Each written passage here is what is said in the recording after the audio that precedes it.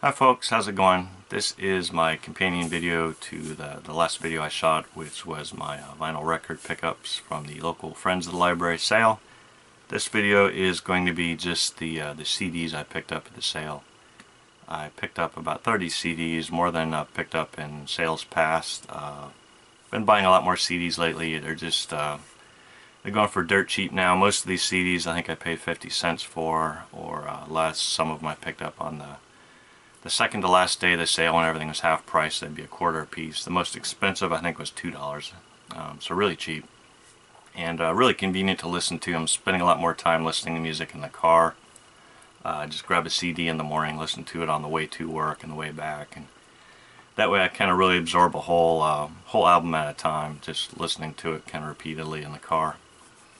Um, yeah, so let's get right into it. Uh, 95 5% of what's here or more is uh, jazz. Um, just been picking up a lot of jazz stuff lately. Uh, I don't know, it's just kind of where my, my interest has gone lately. Um, I do pick up some different stuff on vinyl, uh, especially the record store, but uh, used stuff uh, focus mostly on jazz. So uh, I've got these in alphabetical order. I'm going to try to go through pretty quick. Uh, the guitarist Laurindo Almeida and sax player Bud Shank.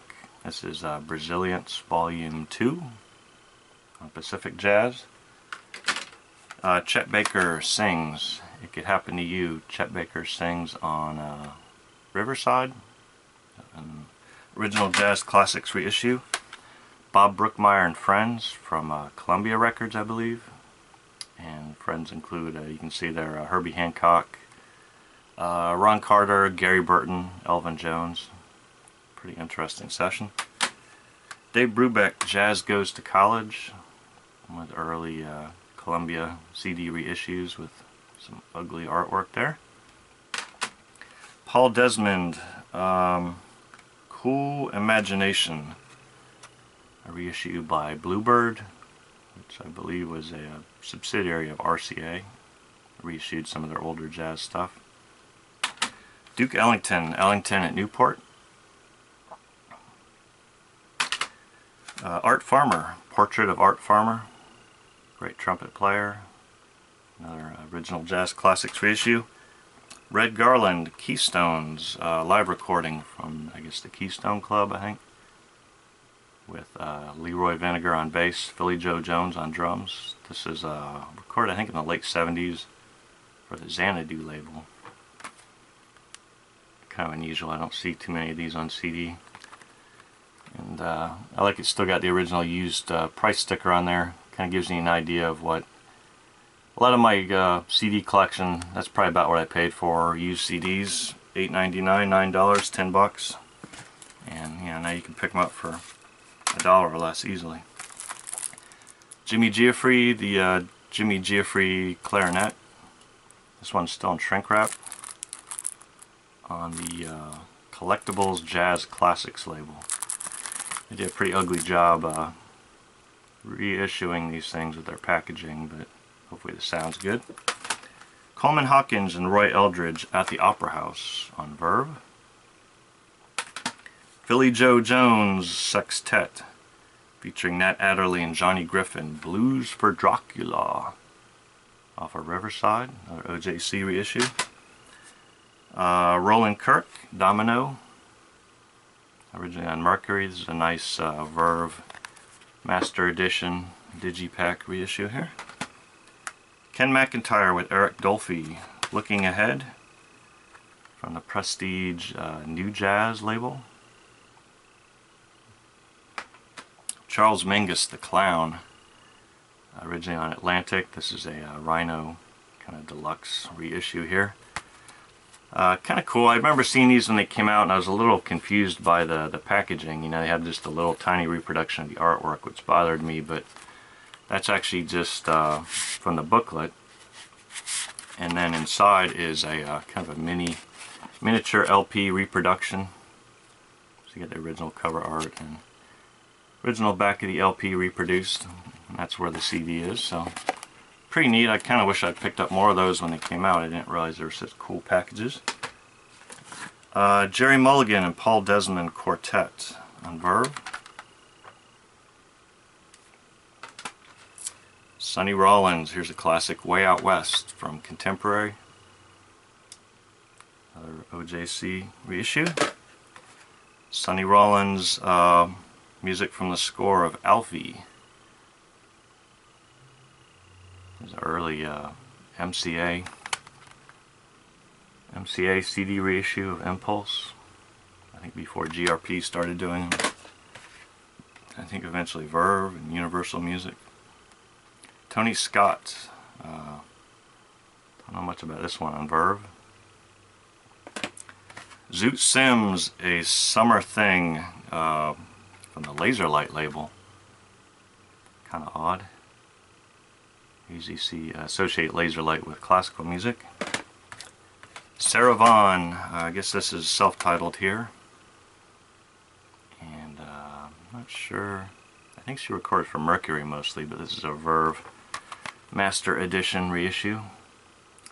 I actually picked up some Sarah Vaughan on vinyl recently, and it was no good. It was uh, kind of Sarah Vaughan with uh, orchestrations, a lot of strings, and uh, just not my thing. I like, this one has some real jazz players on it. Um, Clifford Brown, Herbie Mann, Paul Quinichette, uh, Jimmy Jones, Roy Haynes.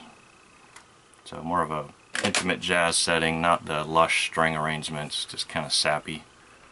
Um, that's unfortunately what I picked up on vinyl. I'm gonna redonate it. Um, Carmen McRae, um, getting into the, these are all going to be vocalists here. Uh, Carmen McRae on Bethlehem. I guess this one's self-titled. And here she's with the Matt Matthews Quartet and the Tony Scott Quartet. Another good singer, uh, June Christy. This one's a twofer. Gone for the Day and Fair and Warmer. A couple of her recordings for the Capitol label. She'd been a singer with the uh, Stan Kenton Band.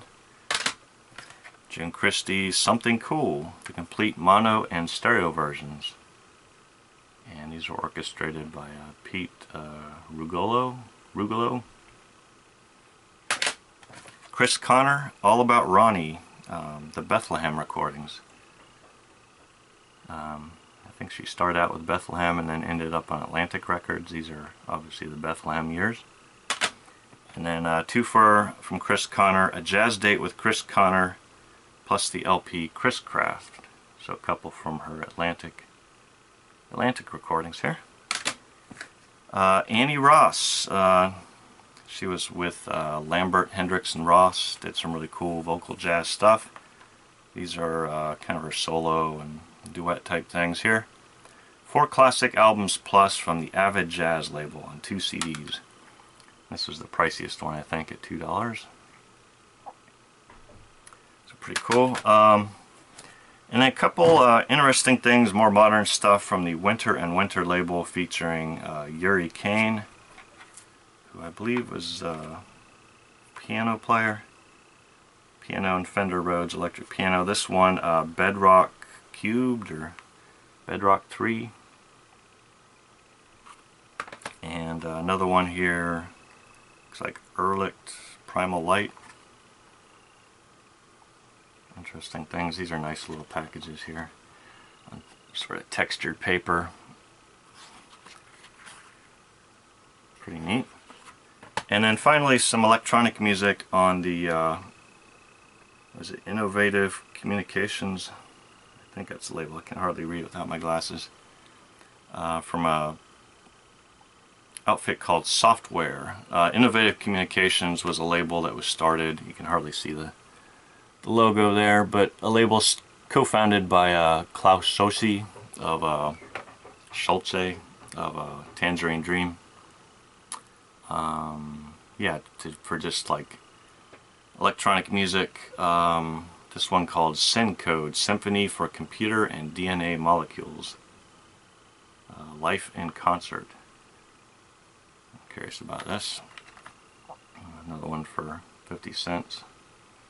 So that's it. Um, yeah, like I said, I've just been picking up a lot of CDs lately. Um, I don't know, I've always loved CDs. Uh, I've never quit collecting CDs. Um,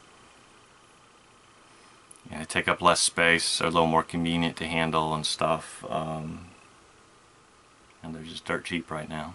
So it's a cheap thing to collect at the moment. Uh, that's it. I'll see you guys in the next video. Take care.